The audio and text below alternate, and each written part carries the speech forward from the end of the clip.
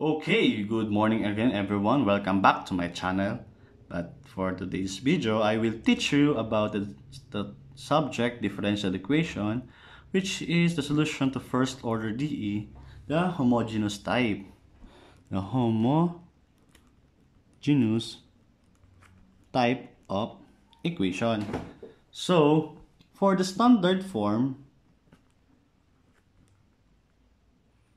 okay, so we have here is the m of x and y dx plus n of x minus y dy is equals to 0.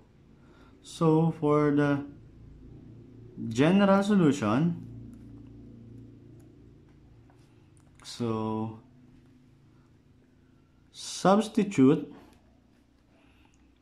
y is equals to vx or x is equals to vy so that the result will be variable separable type of equation. Okay? So, paano natin ma-identify sa y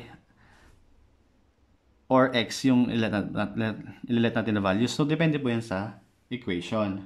Okay? Saan po yung, um, para sa akin, pag, nag, pag nagsasolve ako, mas gusto ko yung, kung halimbawang marami ang, um, marami, maunti ang, ang y doon, yun ang nililet ko na values. Okay? So, example. So, number one, solve the differential equation of y prime is equals to y plus x over x. So, for the solution, we have here is to let the value of y is equals to vx. So, the derivative of y is v dx plus x dv. So guys, pag nagsasolve kayo homogeneous type, make sure na yung mga variables nyo at sinusulat nyo is uh, naintindihan nyo at saka yung mas madali nyo siyang i, i ano, kumbaga, distribute or ano, para hindi kayo malito. Okay? So, substitute natin siya dun sa equation to, which is the equation provided with i. So, y prime is dy over dx is equals to y plus x over x. So, this is equal to x dy is equals to x plus y dx. Nga po? Okay? So, substitute natin siya sa part na to. So, magiging ang ano mo is x quantity. Ang value mo ng dy is v dx plus x dv is equals to x plus vx dx. Okay? So, distribute natin to. So, magiging xv dx dx plus x squared dv is equals to x dx plus vx dx. Okay po. So, cancel natin tong both side na to. So, magiging x squared dv is equals to x dx. So, sa part po na yan, pwede siyang uh, separable type of equation. Pwede nating uh, paghiwalay na yung si x at saka si v. So, sa case na to, pwede pa natin ito makancel. So, cancel to. So, magiging x dv is equals to dx. So, magiging, ano na po natin dyan ay dv is equals to dx over x. Okay? So, integrate natin Integral of dv is equals to integral of dx over x which is v is equals to ln of x plus c. Tapos po nasa kabila, v minus ln of x is equals to c. Substitute lang natin yung value ni v. Nilit natin dito kanina which is v is equal to y over x. Okay? So, your final answer will be y over x minus ln of x is equals to c. So this is your final answer. Okay? Next. Okay, for number 2. Solve the equation x squared minus xy plus y squared dx minus xy dy is equals to 0.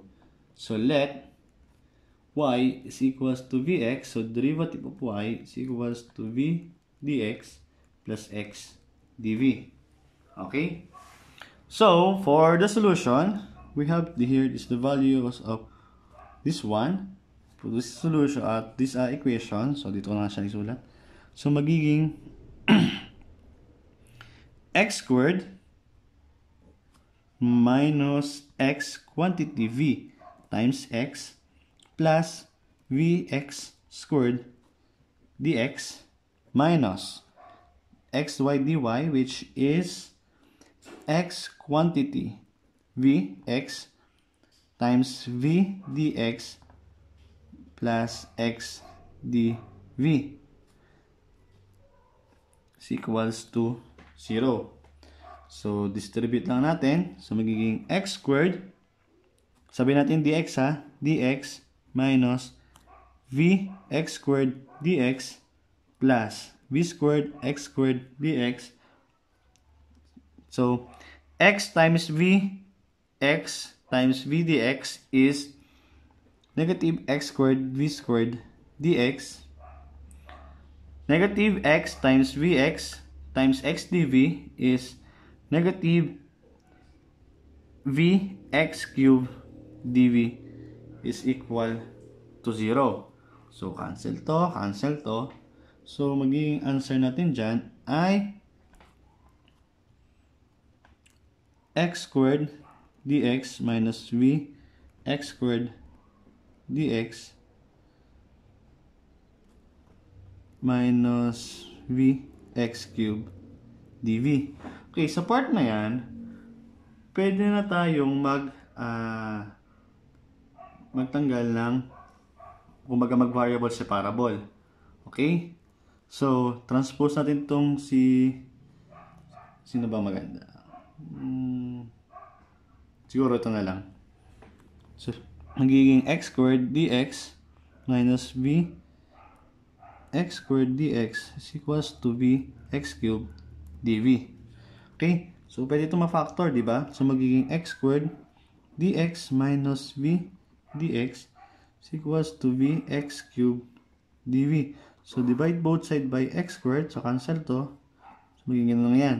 So, magiging dx minus v dx is equals to v dv. Okay? So, sa case po na to, pwede natin siyang gawing uh, continuous equation. So, magiging ano po ito? ay may x pa pala dito. xv dv. Okay? So, magiging uh, factor natin to, dx is equals to 1 minus v is equals to x v dv. Okay, lipat natin si x. So, magiging dx over x is equals to v dv over negative b minus 1. So, bakit ko siyang ginawa ang ganon? Kasi po, para mas madali ko siyang i-integrate. Mamaya makikita niyo kung bakit. Okay? So, pag integrate mo natin siya, okay? So, next page muna tayo. So, dx over x is equal to v dv over negative b minus 1. So, integrate lang po natin sila both side. So, magiging integral. This one. So, integral of dx over x is equals to, paghiwalay ko lang po ito ha, so magiging integral of negative db times, so magiging v over b plus 1, kapag pinactor natin siya, so magiging 1 plus 1 over b minus 1, okay, so pag kinos multiply natin yan, b over b plus b minus 1 ang kakalabasan po niyan, okay, so distribute natin, so magiging So, ito ay equal sa integral of negative db minus dv, integral of db over b minus 1. So, integrate na po natin tong parts na to. So, magiging ln of x is equal to integral of negative db is negative b minus integral of dv over y over v minus 1 is negative ln of b minus 1 plus the value of c. So, sini ko lang po siya kasi meron naman ako dito b. Okay? So, lipat po natin siya. So, ln of x plus ln of b minus 1 is equals to negative b plus c. The function of logarithm, so magiging ln of x times b minus 1. Lipat ko na si b plus b is equals to c. Okay? So, substitute natin si v is equals to y over x. So, magiging ln of x times y over x minus 1 plus y over x plus c is equals to 0 or equals to siya, maalin yan. Ang sign naman ng constant, kahit ano naman yun eh. Okay? Nilipat ko lang doon. so, your cancel to. So, magiging ln of so, pag distribute mo dito is y minus x plus y over x plus c is equals to 0. So that is your final answer. Okay? Next. Last example. Example number 3. So we have here is a solve the equation xy dx plus x squared plus y squared dy is equals to 0. So let x is equals to vy. Bakit po x ang inano ko? Parang konti lang siya dito eh. So, yun ang nililet ko na values. Okay? So, for the solution, substitute natin to sa magiging v y squared times v dy plus y dv plus v squared y squared plus y squared dy is equals to 0.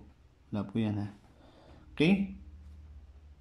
So, case po na yan, um, distribute lang natin. So, v squared y squared dy plus by cubed dy, dv plus b squared y squared dy plus y squared dy is equals to 0.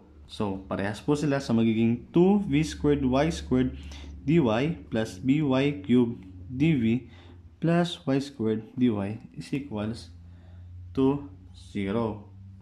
Okay? So, try, try natin transpose to para makapag-cancel tayo. Tapos, factor na rin natin to.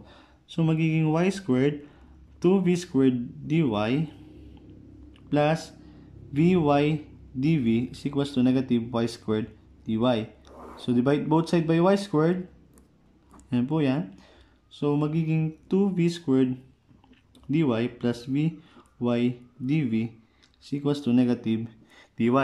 So, sa case na to, uh, dapat lang tinaspose natin sa part to, ito. Pero okay lang yan. Balik na lang natin. Okay? So, 2v squared dy plus dy is equals to negative by dv. Okay? So, factor natin to. So, magiging 2v squared plus 1 quantity dy is equals negative by dv. So, sa case po na yan, pwede na natin siyang uh, separate yung mga variables. So, magiging so for the equation, so dy over y is equals to negative b dv over 2b squared plus 1. Okay? Next. So, meron tayong integrate na natin. dy over y is equals to negative integral of b dv over 2b squared plus 1. Okay?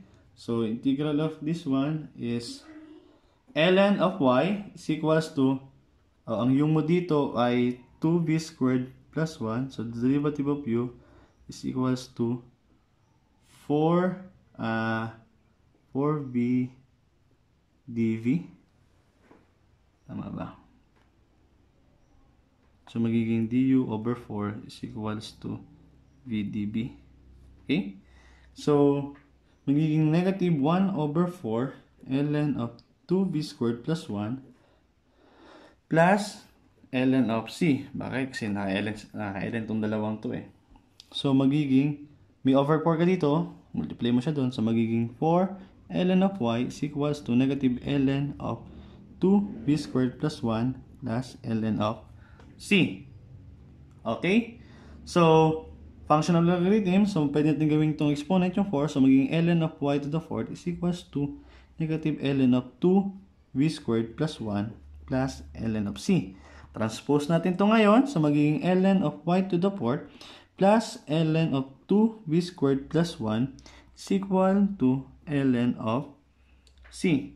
Okay? So, function ulit ng logarithm. So, ln of y to the 4th times 2v squared plus 1 over is equals to ln of c. Okay?